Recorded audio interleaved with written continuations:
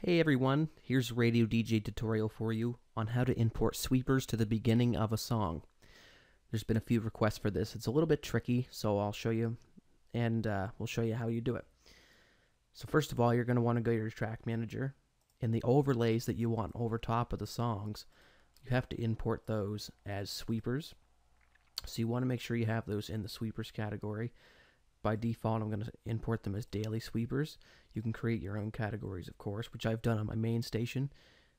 Then you look for the uh, files that you want to import. For um, for this example, I put them in a folder called Overlays Audio.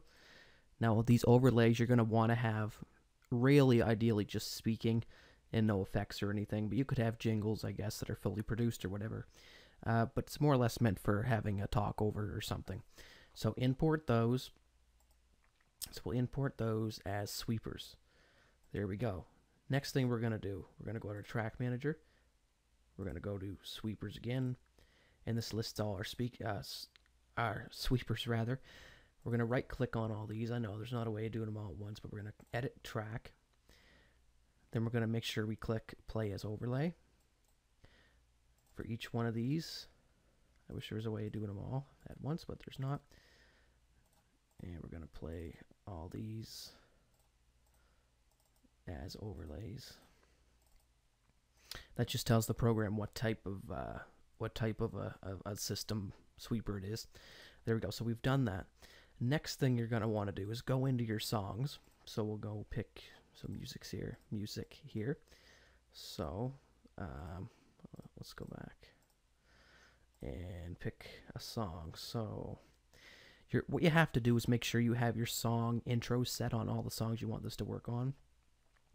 So if you don't have an intro set on the songs, it's not going to be able to detect if that sweeper can fit on the song and you also have to assign the sweeper to each song. So, um, so for example, hopefully I don't get copywritten for this, but you're gonna right click, edit cue. This is how you insert intros.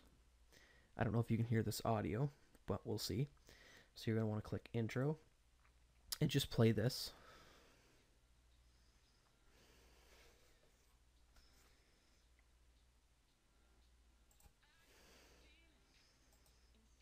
So there we go. We set an intro for that song. Let's do for a couple more. It's not really an intro for that song. Set one for this. Whoops. So we will set one for this. There isn't that big of an intro, but we'll do it anyway.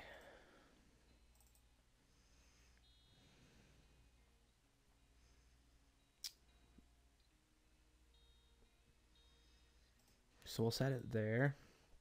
We'll do one more just because it's good to have them all set, but just for this example. Uh, no intro there.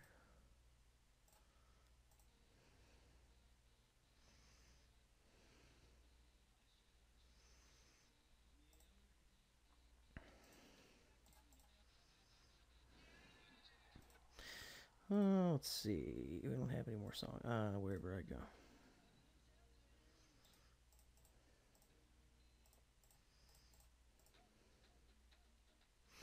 Alright, so we'll do this song.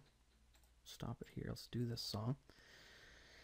We'll set one. There's not a very big intro, but we'll set one. So, play it.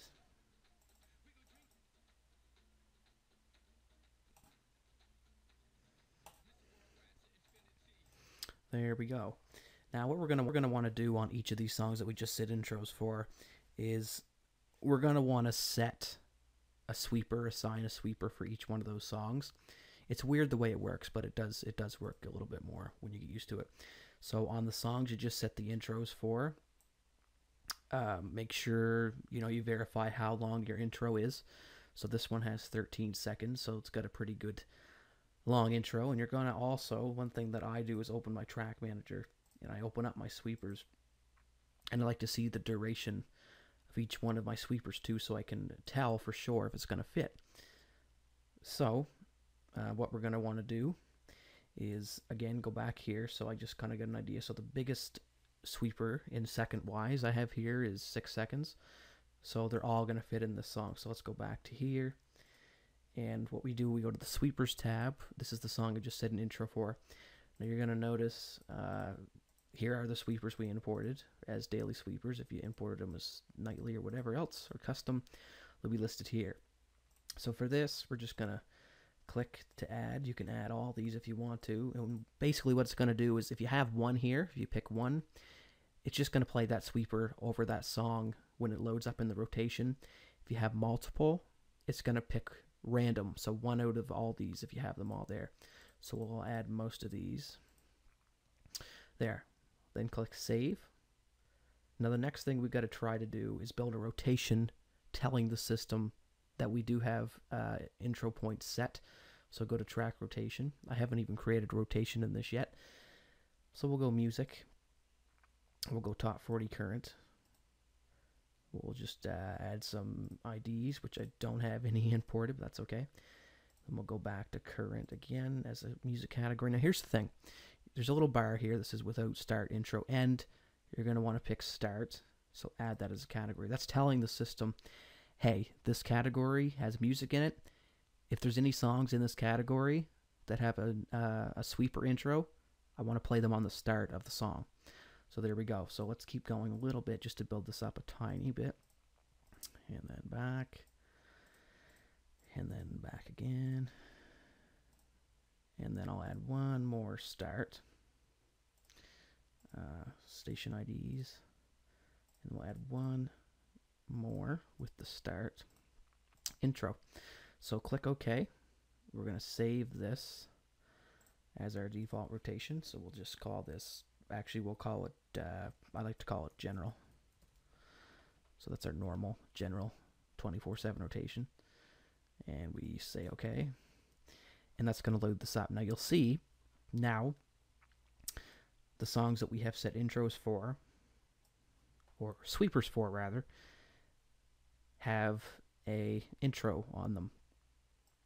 So there's three of course. And one thing that you got to realize is that if we look up, say, Major Lazer, this song here in our rotation, and we drag it over here, it's not going to have that intro. Why? Because the system needs to cue the song up in order for it to work because it's in, within the rotation. So if you're planning on dragging a song over and saying, oh, I want the, the sweeper associated with that, it's not going to work. So if I refresh these, if you if you have a look at the uh, sweepers with each song here, when we refresh and clear the playlist, it's going to redo. It changes the sweeper every time. Like I remember I said that it was uh, generated randomly. So that's the way it works. So that's how you import a sweeper. Obviously, you'd have a bigger library than I would, so they would be a little bit more spaced out. And it's also based on your rotation too. Maybe you have more than just two of the start categories here. So it just depends on how you have set it up. Anyway, hopefully that helps. Thanks for watching. If you hear commercials, you're listening to the wrong station. Nothing but hits. Mix 1017.